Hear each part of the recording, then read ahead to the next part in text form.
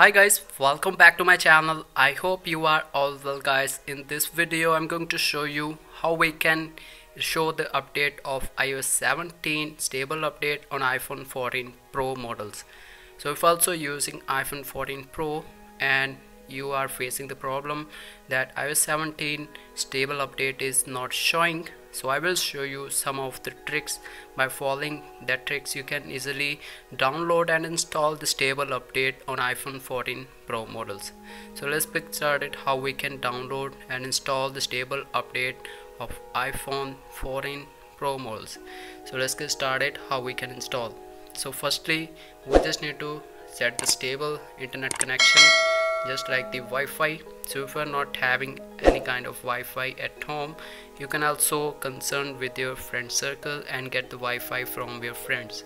So after that connecting the Wi-Fi with the iPhone now open here the general and click on the software updates and tap on this automatic updates. And firstly enable these three settings right here after enabling these three settings make sure you are not using any kind of iOS 17 public beta or the developer beta option. As you can check out here in my iPhone 14 Pro I'm using here the iOS 16.6.1 the stable update. So make sure you are also using this stable update on your device so that you can easily update your devices to the latest iOS 17 update when Apple release. So today is 17th of September. So 18th of September you will receive the iOS 17 stable update. And now just tap on this date and time and enable here the set automatically. So if you don't use the set automatically option you can't get the uh, notification of iOS 17 stable update when Apple releases.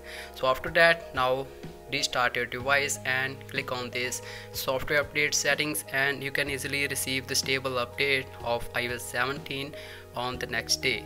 I hope you like this video. This is the way you can easily receive and show the iOS 17 stable update on iPhone 14 Pro models. I hope you like this video. Please give a like and also share this video with your friends so that they can also download and install the stable update of iOS 17 on iPhone 14 Pro models. So I will see you in the next one. So guys thanks for watching